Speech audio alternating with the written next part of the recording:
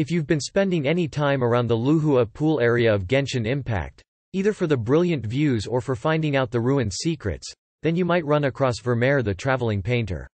After meeting him, he'll give you the Genshin Impact Luhua landscape questline that, while beginning with assisting the painter himself, resolves with you diving deep into some ruins for treasure. What is the Genshin Impact Luhua landscape quest? To start you need to find Vermeer at the large ruins to the west of the Luhua pool bank. The annual day of you isn't just any old day, so why celebrate with any old grocery store cake? We dug deep to find the desserts that most embody every astrological sign, so you can have a custom treat that's 100% you. In the map below, it will be where the blue and yellow marker is. Title. Luhua Landscape Location. Luhua Pool, Liyue Description.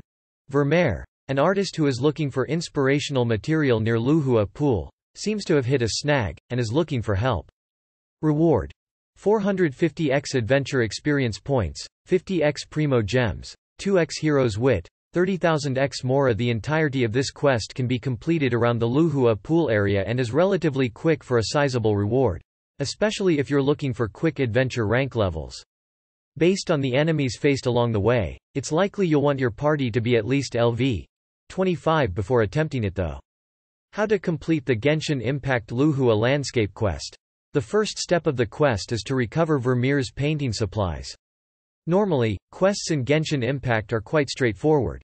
You'll be given a waypoint marker or at least a region that you should be looking in. The Luhua landscape quest, however, gives you enough information that Vermeer was looking at the scenery that he was standing in currently from good vantage points, and that's where he left his equipment. You might have even come across one of his camps while clearing earlier missions, but if not, on the map below, their locations have been marked and circled.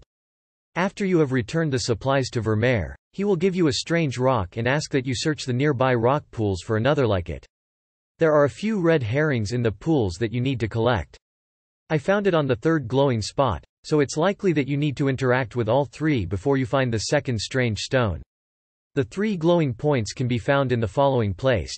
There is a glowing light in the pool furthest in the northeast, right before the pool that extends out of the yellow circle completely.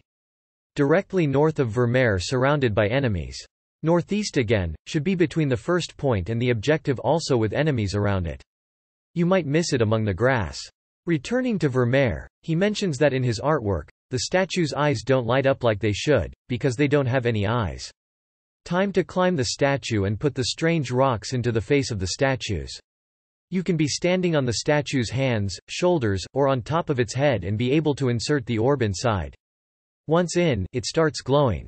After both eyes have been placed in the statue, the geomarker will unlock. After attacking it with a geo attack, a LV 24 fire, water, and ice abyss mage will appear. You'll have 90 seconds to defeat them, so be prepared for an immediate fight. After they've been defeated, the gateway into the ruins will open. What is inside the Genshin Impact Luhua landscape ruins? After heading through the doorway, you'll find a few chests and some other nice rewards inside. These include the following. 1x luxurious chest 2x exquisite chest 3x Cor Lapis Once you've opened the luxurious chest, the quest will be completed, and you'll be that much richer. Were you satisfied with the rewards of the Genshin Impact Luhua landscape quest? Did you have any problems with the mages?